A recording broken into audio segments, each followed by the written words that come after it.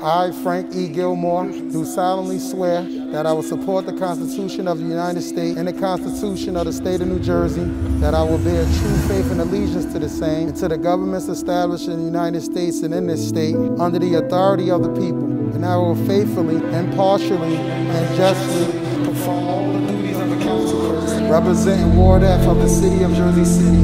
This the is people's, people's Ward F. Ward F. Educational Gilmore. I'm running to be the next representative for the Ward F City Council seat. And in this Ward F is going to be inclusive of everybody. This Ward F is going to be accountable, transparent, and governed with a sense of integrity like none seen before. The People's Ward F.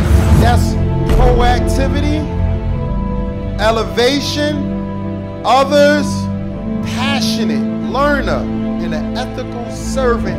Finally, that's why this is the People's Ward F.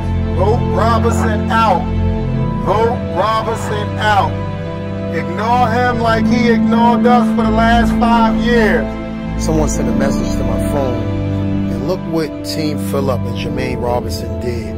Literally on every single car, they put a post up with um, name on it, vote no and guilty, and a whole bunch of misinformation about what was going on. If anyone owned a story more than me, I would like to meet that individual.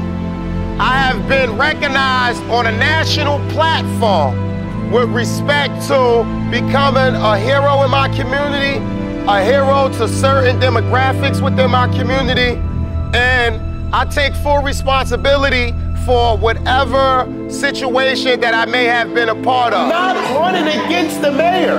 I'm not running for governor. I'm running for a council seat. That's one vote. That's one vote.